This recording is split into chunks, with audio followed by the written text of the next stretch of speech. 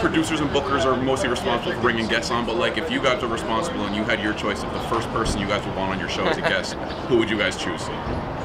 Oh, I, I got to get Michael Jordan. He would get Michael Jordan as the first guest. I would get LeBron as the first guest. Okay. Uh, but no, and I mean, we, you're right. We do have bookers and stuff, but Cris already has some people lined up, some people that love Yeah. him. We, we both have a relationship. It's, it'll be a national show, but with the New York Flair, we both have a relationship with Odell, and so Yes. we're gonna try to get him involved. And, Odell, Barkley, Yeah. Charles Barkley. You got to have him on. And since so- I, since he was your original draft pick. Right. Oh yeah, yeah, yeah, yeah. That's right. That's right. Couldn't get him. Second rounder right here. Speaking of Uh, Jordan, let me ask you, there's a huge debate about whether or not LeBron is surpassing him on the court. Some people say he is, people say he isn't. In terms of merchandise and merch sales, do you think LeBron will ever be able to surpass Jordan? Oh.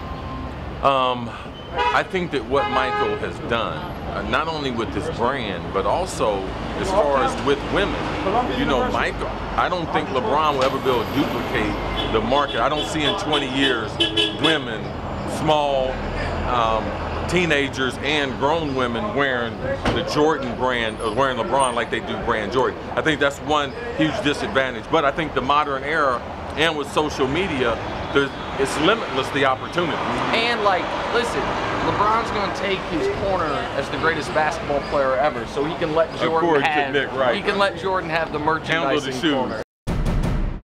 If you like what you just saw and you want to see more videos of your favorite athletes, crazy stories, and just all the best off the field stuff, uh, subscribe to the TMZ Sports YouTube channel. The subscribe button is right here, and check out more of our exclusive content right here.